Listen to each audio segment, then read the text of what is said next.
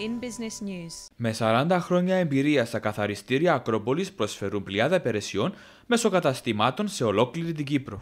Η εταιρεία μας ιδρύθηκε και δραστηριοποιείται στην αγορά από το 1975 από τον πατέρα μας Ζαχαρία Ρακλέου. Εδώ και μερικά χρόνια έχει περάσει σε εμάς τα παιδιά του.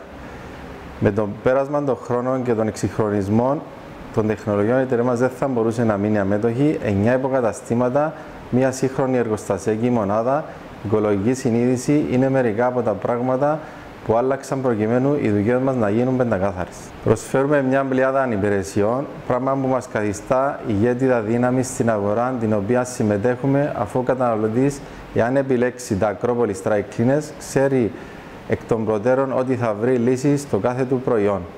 Μερικές εκ των υπηρεσιών μας είναι η υπηρεσία σιροτηρίου, dry cleaning, καθαρισμός παμπλωμάτων, κουβερτών, quilts, καθαρισμός κουρτίνων και blinds, καθαρισμός και φύλαξη χαγιών και φυσικά υπηρεσία free delivery. Γιατί κάποιος να επιλέξει δική μας εταιρεία.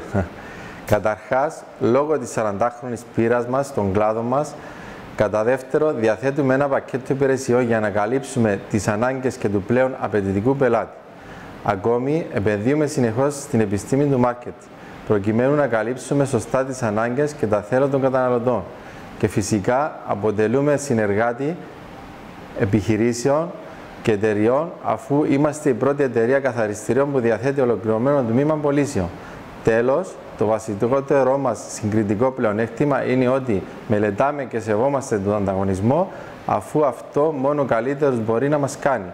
Με ταπεινότητα και συνεχή εκπαίδευση και ανανέωση των γνώσεών μας προσπαθούμε κάθε μέρα να γινόμαστε καλύτεροι σε όλους τους τομείς και μέσα στο άμεσο μέλλον να προχωρήσουμε με τη δημιουργία νέων καταστημάτων σε όλες τις πόλεις της Κύπρου για να μπορέσει ο Κύπρος καταναλωτής να απολαμβάνει πεντακάθαρες δουλειές.